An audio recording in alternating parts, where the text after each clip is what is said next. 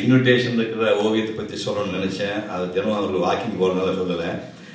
நான் வந்து ஒரு ஒரு தீவிரமான ஒரு அகாடமிக் ஓவியர் நான். அதாவது நான் என்ன நல்ல நடிகன்னு சொல்லிக்க மாட்டேன் நான்.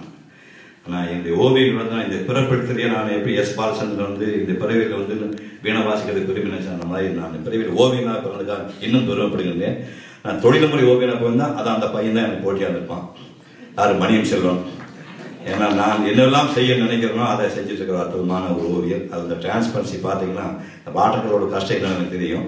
அது மிகச்சிறந்த ஓவியங்களில் ஒன்று ராஜம்மனுடைய ஓவியம். அது சொல்லிட்டு தான் நன்றி.